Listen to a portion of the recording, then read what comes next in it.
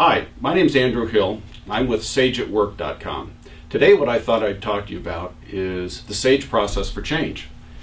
What are the basic steps we need to do to make change in our work lives?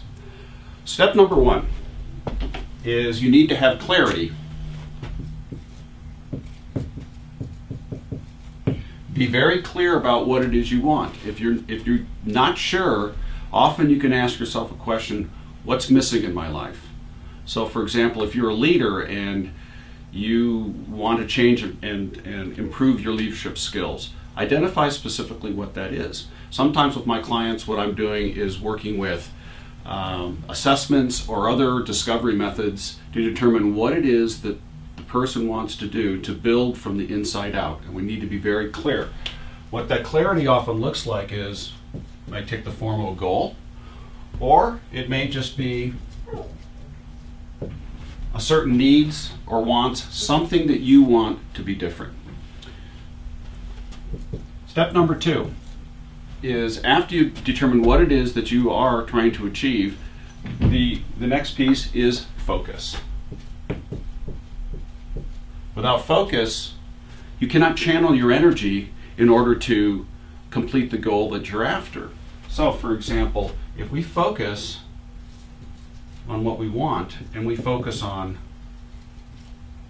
our strengths versus our weaknesses, it's well known that you will accomplish much more than trying to improve something you're weak on. So, through this process, we are looking at you as a unique individual and channeling and harnessing your energies towards accomplishing this goal.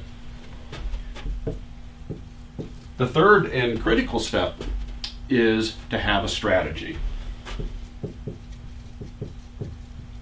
So, a strategy is a working plan that's systematic that allows you to break this process down and divide it into uh, smaller tasks that are easy to accomplish. And through doing that, you're able to reach your goals and accomplish what you want much faster, especially as you're reinforced through this process. Strategy alone doesn't take care of it though. You need to have action. So, how does this work? We would develop through this process once we know what you want and we've created focus around it, we'll actually create a plan of action. And this plan of action is going to be systematic, sequential, step by step to get you to where you need to go. And over time, you can, you can accomplish great things and develop the sage within.